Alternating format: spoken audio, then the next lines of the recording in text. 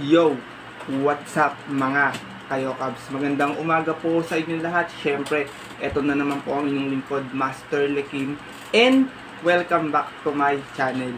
Siyempre, bago tayo mag-start sa ating video nito, eh, make sure na dapat nakalike na po tayo mga bayang karerista at nakasubscribe. Siyempre, nahit na rin natin yung notification bell para updated tayo sa mga susunod ko pang upload na video. Always po tayo may mga konting silip giya at race analysis sa karera na sana'y makatulong po sa inyong pananaya or maging guide. Siyempre, nasa sa inyo pa rin po kung susundin nyo po o hindi yung ating mga giya. Siyempre, laging mas mananaig yung mga sarili nyong kursunada. At ngayong umaga po ay meron tayong konting silip giya at race analysis sa karera. Ngayong araw po ng linggo, May 8, 2022 second day racing dito po sa Metro Turf Malbar, Batangas. Meron po sila iniandang 12 races na magsisimula sa na alas 2 ng hapon kung saan nakaloob po dito yung ating PIL 2022 Pilracom Chairman's Cup Stakes Race Division 1, 2, and 3 po na medyo kaabang-abang na kanila. Talagang inaantay natin to kasi nandito yung laban ng ating paboritong rivalry na si Super Swerte at si Boss Emong. Eh, sila yung magkikita muli sa pangatlong pagkakataon ng serye ng laban na to. Kaya, siyempre, hindi ko napapatagalin pa yung ating mga giya, mga bayang kalorista. Ito, uh, paraanin ko lang pong saglit na shoutout bago tayo mag-start sa ating video. Shoutout nga po pala kay Sir Henry Patagi. Pinapa-shoutout po niya si Ma'am Cathy Duran at si Duran at sa mga kasama nito sa work sa VX1 team. Shoutout po sa inyo. Mula po yan kay Sir Henry Patagi. Shoutout ko din po si Sir Sunny Nicandro. Uh, at saka yung ibang mga bayang karits natin na always nakatutok sa ating YouTube channel, shout out po sa inyo. At yun, syempre, hindi ko napapatagalin pa yung ating mga silip at biya. E pupuntahan na rin natin ang ganyan mga bayang karista matapos lamang ang ating maiksing intro. Kaya, let's go! Mga Kalokams! I have a dream, that's all I need I'll make it happen with some work and belief Know what I want so I At yun nga po, gaya nga po ng sinabi ko kanina, eh, meron nga po tayong 12 races ngayong araw ng linggo. Meron tayong tatlong set ng winner take all, tatlong set ng pick 5, dalawang pick 6 at isang pick 4. Medyo maganda yung ating lineup. Kaya kung may mga napupusuan kayo mga magagandang dihado, eh wag niyo pong kakalimutan isama sa inyong diskarte at mga ruta bayan kalita kasi madalas nandyan po yung mga inaasam natin na yummy dividend. Kaya ito, simulan na rin natin agad yung mga silip at giya natin. At puntahan na natin, start na po tayo. Good luck po sa inyong lahat. Race number 1, simula ito na ating first winner take all event. At ang distansya po natin ay 1400 meters po yung ating siyam na karera. Tapos yung tatlong highlight race natin is puro 2000 meter po yun mga bayang karerista. Isa po itong Pilracom waiting base class 4. 22 to 27 split at this time meron tayong walong kalahok na maglalaban-laban mga bayang karerista. Dito first choice ko numero 1 Habana O Nana. IL Aguila ang rerenda. Last time nanalo po to dito sa Valvar. Meron tong 126 flat sa rating base 22-27 na rin. Nung April 17 kung saan tinalo nga po nito sila Street Smart. Same rider pa rin po tayo. IA Aguila pa rin po ang rerenda para po dito sa numero 1 natin na si Habana O Nana. Second choice ko to medyo bumaba ng laban to tong numero 4 Aliwagwag Pulse. Ryan Bassi yung rerenda. Ito naman may 126.4. Dumating to ng panglima sa isang rating base 28.33 noong April 17. Doon naman po sa karera nila Don Julio. Same rider pa rin. RA base pa rin po para po dito sa ating numero 4 na si Aliwagwag Pulse. Isinasama kong choice ito last time medyo maganda yung tinakbot. Madalas makadihado to. Baka kursunadan nyo lamang. Numero 2 Clear Talk. Si MP Lapil yung rerenda. Ito meron tong 126.6 last time. Itong Marcera to. Same rating base nung May 3. Doon po sa karera nila Happy Maggie. Same rider pa rin. Si MP Lapil pa rin po para po dito kay Clear Talk. Race number 1 po. First choice ko po ulit numero 1. Habana Onana. Second choice numero 4. Aliwagwag Pulse. At third choice numero 2. Clear Talk. Good luck po. At lipat na tayo sa ating race number 2. At dito po magsisimula yung ating first set ng ating Peak 5 event. Ito yung isa sa mga highlight race natin ngayong araw ng linggo. 2022 Pilracom Chairman's Cup Division 2. Distance po natin is 2,000 meter. Meron tayo ditong 7 runners but 6 in betting number lamang. Dito first choice ko, ito medyo nag-uumento to. La. First time tatakbo sa mahabang karera, tsaka first time malalaban sa medyo malalakas. 2 and 2A, Robin Hood with JB Guse. And 2A, Magtoto Betsky with R AR Villegas, sorry. Pero tingin ko Robin Hood, Robin Hood eh. Malalaban na to dito mga bayang kalesa. Sorry, medyo namali ng bigkas lamang. Ito, galing to sa sunod-sunod na panalo dito sa Malbar. Medyo gamit na niya yung pista. Ang problema lang, medyo humaba ng distansya. At may mga kalaban siya dito na halos mga veterano na. Last time, meron pong 124.4 na nalo to sa isang 1400 meters rating, rating base 34-39 noong April 20 kung saan tinalo po nito sila Security Supreme. JC Gusin na rin po yung Romenda para po dito kay Robin Hood. Second choice ko to veteran campaigner, sanay na sa mahabang karera, tsaka doble din sa Malbar tong numero 3, Hukbong, Dagat. M.A. Alvarez yung rerenda, marami ako nakitang matulin, pwede makapag-abang to, kaya medyo mahaba yung distansya, sapat sa kanya. Last time lamang, meron tong 125.2 na segunda to sa 1400, rating base 47 to 60, noong April 7, doon po sa karera nila Silab. Same rider pa rin, regular rider niya, M.A. Alvarez para po dito kay Hukbong Dagat. Race number 2 po. First choice ko po ulit, 2 and 2A, Robin Hood and uh, Magtotobetsky. Second choice, the veteran campaigner, numero 3, Hukbong Dagat. Good luck po. At lipat na po tayo sa ating race number 3 kung saan magsisimula po yung ating second set ng ating winner take all. Isa naman po itong Pilracom waiting base class 5, 11 to 15 split. At this time meron tayong 13 runners but 12 in betting number bayang kararista. Dito first choice ko, numero 2, susubukan manakbo to dito dito sa Malbar, Raha Bago. BD Fulgencio ang rerenda last time meron tong 133.2 sa 1400 sa Carmona na segunda to. Sa same rating base na rin. Noong April 29 kung saan ang nanalo po doon yung dihadong si Captain Sally. Same rider pa rin BD Fulgencio pa rin po para po dito kay Raha Bago Raha Bago sorry second choice ko po matuling kabayo tingin ko kung sakaling makakaporma sa unahan to eh pwedeng makatapos to. Numero 6 Rise and Shine with 6A My Way. Pero tingin ko My Way ang panglaban dahil galing po ito sa impresibong panalo last time. Meron tong 127.2 sa condition race 22 noong April 27 kung saan tinalo po nito sila Professor Jones. Same rider pa rin po R.O. New Jr. pa rin po para po dito kay My Way isinasama kong third choice ito madalas manalo to linggo tsaka talagang minsan nakakadihado to Ah, numero 7 7 of Diamonds Boji Henson pa rin yung re-renda. Regular rider na niya. Ito meron tong 127.6 sa rating base 11 to 15. Dumating tong Tarsera noong April 28. Doon naman po sa karera nila Don't Stop Believin. Same rider pa rin po para po dito kay 7 of Diamonds. Race number 3 po. First choice ko, numero 2, Raha Bago. Second choice, 6 and 6A, Rise and Shine and My Way. Third choice, numero 7, 7 of Diamonds. Good luck po.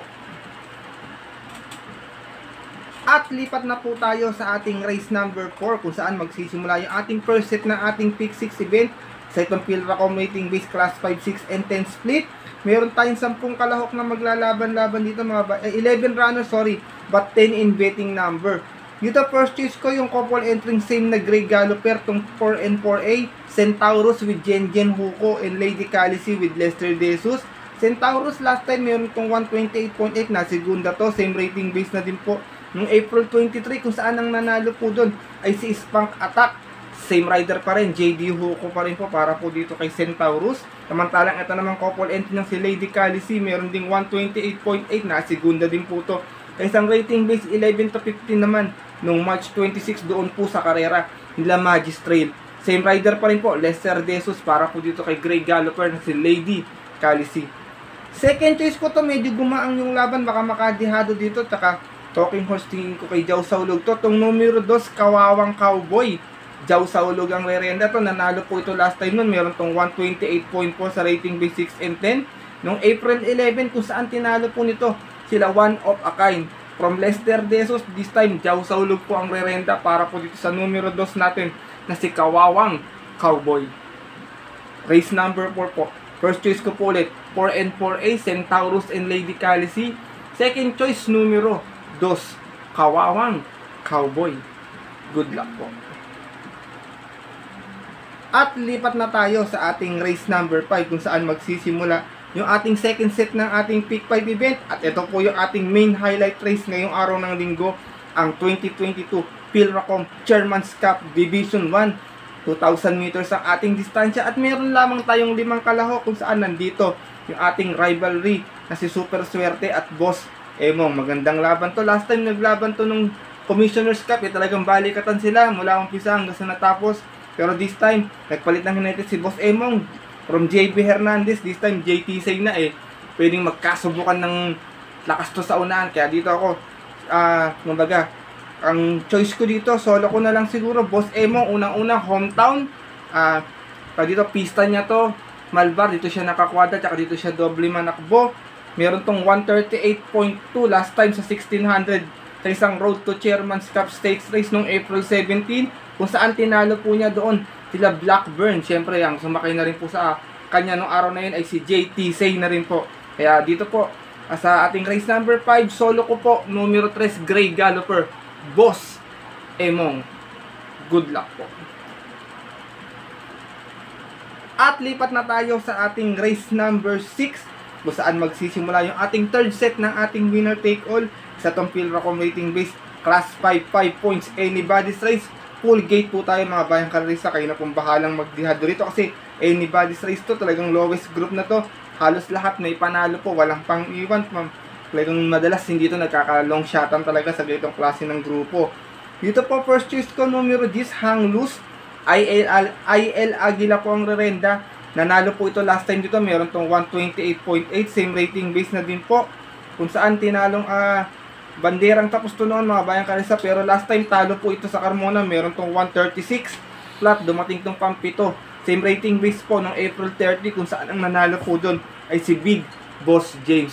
Regular rider na rin po talaga niya to si IA Aguila.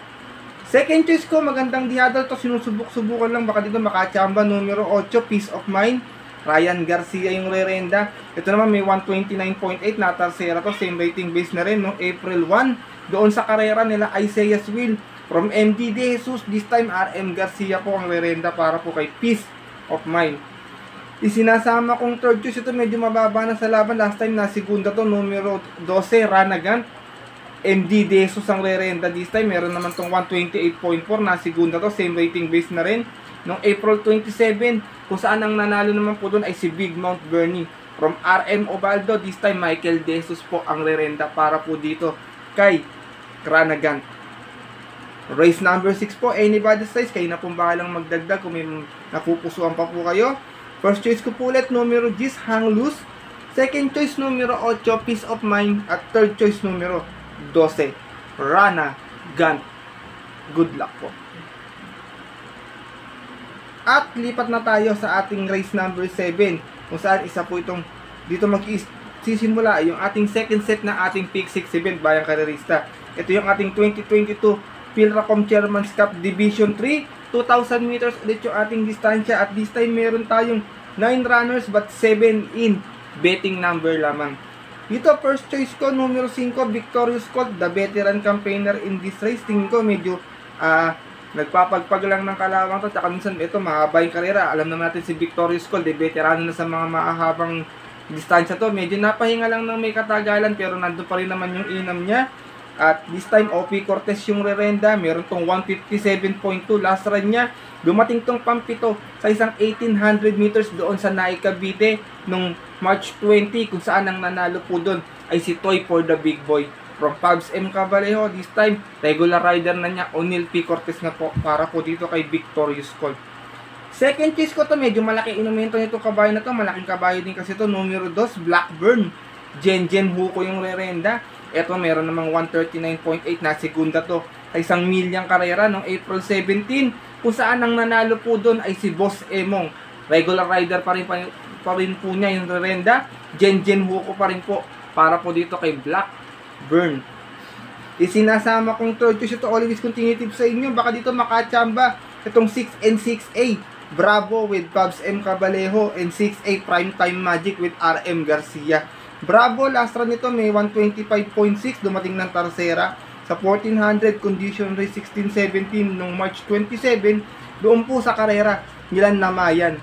From CS pare this time po Cubs M. Cabalejo po ang rerenda para po dito kay Bravo. Race number 7 po anybody's race talagang lahat to may chance first time tatakbo ng mahaba.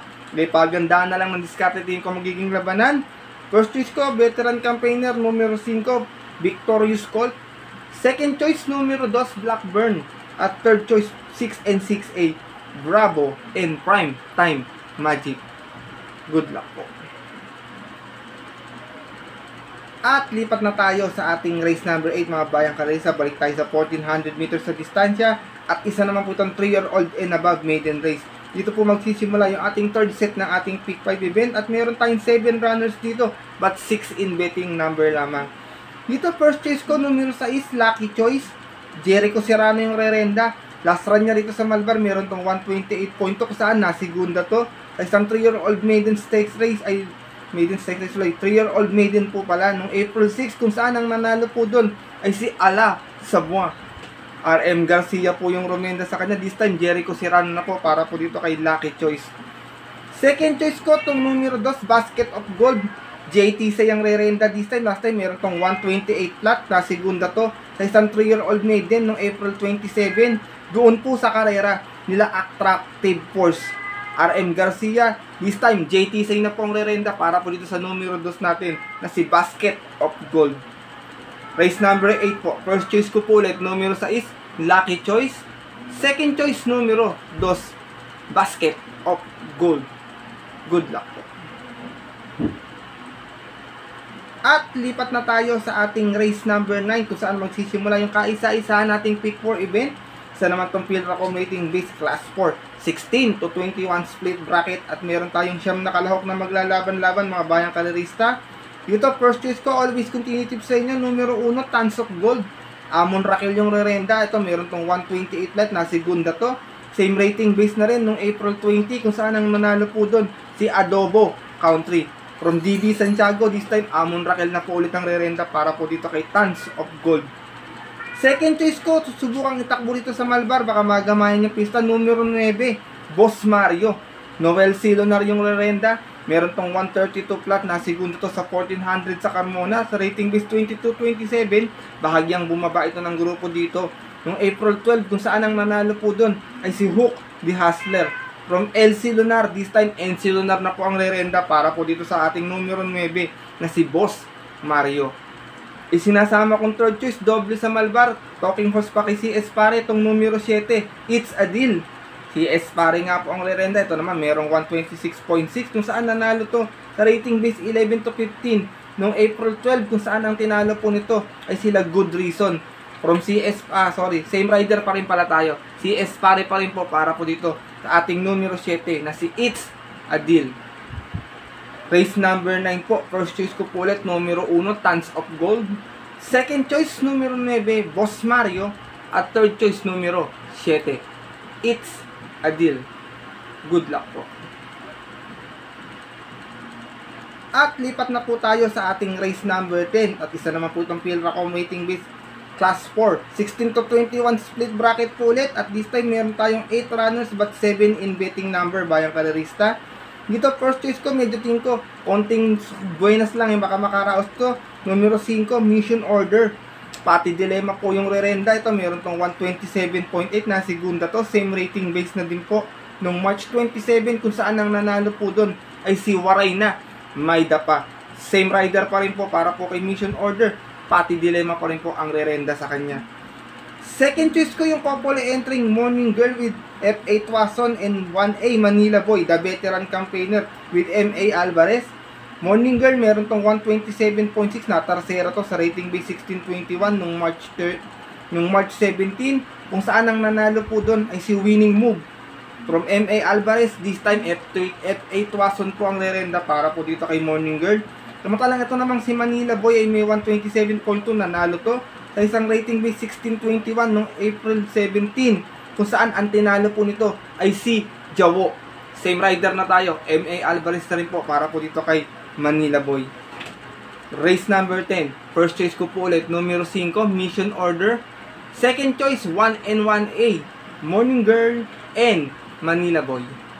Good luck po. At syempre, nandito na tayo sa ating penultimate race, race number 11. Isa naman po itong Philracom waiting base class for another 16 and 21 split po ulit. At this time, meron tayo ulit 8 runners but 7 in betting number bayang karerista. First choice ko to, pares galing sa panalo kung di ako nagkakamali, 1 and 1A. Great Connection with Saulog and 1A Don't Stop Believin' with Pabs M. Cabalejo. Great connection last time may 127 to nanalo to. Same rating base na ah, rating base 11 to 15 lumakit siya ng grupo dito. Nung April 23 kung saan tinalo po nito sila Jin Genie. Same rider pa rin Jao Saulog po para po dito kay Great Connection. Samantalang itong couple entry niya na si Don't Stop Believin' eh galing din po sa panalo. Meron naman po itong 126.4 pa rating base 11 to 15 pares pala silang bagong akyat dito. Nung April 28 kung saan ang tinalo naman po niya doon si Coastal Road from Jao Saulog. This time susubukan kay Pabs M. Cabalejo itong ating 1A na si Don't Stop Believin'. Second choice ko to medyo ginala, always in the money, timbang-timbang din kahit may couple entry numero 7, Jawo. CMP Lapil po ang rerenda. Ito last time meron tong 127.2 na to. The same rating base na din po nung April 27 kung saan ang nanalo po doon yung kanyang couple entry na si Bishop Blue. CMP Lapel pa rin po ang rerenda para po sa ating numero 7 na si Jawo. Penultimate race natin, race number 11. First choice ko po ulit, 1 and 1A. Great Connection and Don't Stop Believin'. Second choice, numero 7. Jawo. Good luck po. At nandito na tayo sa ating huling karera, race number 12, mga bayang karerista. Isa naman po itong Philracom rating base class 5, 6, and 10 split. At this time, meron tayong 13 runners but 12 in betting number lamang. Ito, lowest group. Kayo na pong bahalang magdihado kung may napupusuan po kayo. First choice ko, numero 6, Victory. Rico Camba susun yung renda. Time nito, meron tong 128.8. Dumating tong pang-apat sa rating base 6 and 10 na rin nung March 27. Kung saan ang manalo po doon, si Lucky Nono. Same rider pa rin, Rico Susun pa rin po para po dito sa ating numero 6 na si Victory.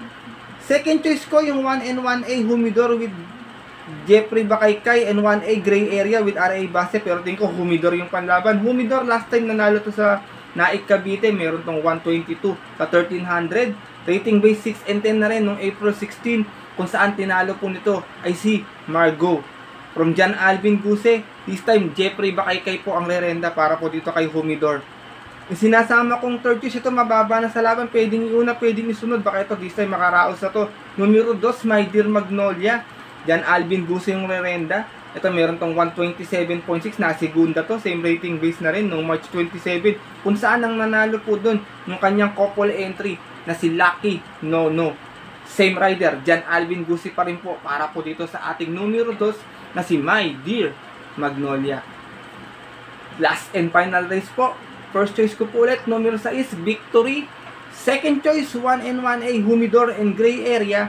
At third choice, numero 2, My Dear Magnolia.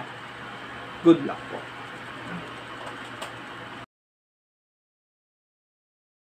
At yun mga bayang karerista at ang ating mga kayokab, sana po'y matapat at makatulong po sa inyo itong ating konting silip at giya ngayong araw ng linggo. May mga dihado tayong nasama sa ating mga giya na sana makalusot para magkaroon tayo ng mga yummy dividend sa ating mga paboritong exotic bet. Paalala ko lang po sa inyo, ito'y gabay lamang at dito sariling kuro-kuro ko lang po opinion or kursunada sa bawat karera. Siyempre, sariling analysis lang po, an- analisa, kumbaga eh dito, uh, sinishare ko lamang sa inyo. Pagdating po ng tayan, mga bayang karerista, siyempre always ko pong binabanggit palagi at pinapaalala na kayo pa din po yung masusunod. Good luck po and happy racing po sa inyong lahat. Maraming maraming salamat po palagi sa pagtutok at pagsuporta sa aking YouTube channel. At sana sa mga susunod pang darating na karera ay makadihado tayo or makabigyan po kayo ng mga yummy dividends na masasama natin sa mga paborito nating exotic bets. Yun lang po, hanggang dito na lang po tayo mga bayang karerista. Magkita-kita na lang tayo ulit sa susunod kong upload na video next week. Karera natin, siyempre, pagtapos itong Sunday, eh, karera naman po ng mga, ano, presidente, tsaka ba, mayor na magaganap kasi election na po. Kaya, uh, Miyerkules na ulit yung ating karera, wala tayong Tuesday racing. Magkita-kita na lang tayo ulit mga bayang karerista. Sa mga gusto magpag-greet at magpa-shoutout, comment na lang po kayo sa comment section nitong video na to. Babasahin ko pupusuan para po next upload natin eh, mag-regret po natin yung mga gusto nyo pag-read. Yun lang po, maraming salamat po ulit. Happy racing po sa inyo lahat mga bayang kalorista. Good luck po at sana matapat itong ating mga giya. Muli, God bless mga bayang kalorista, lalo na sa mga solid natin na mga Kayo Cubs.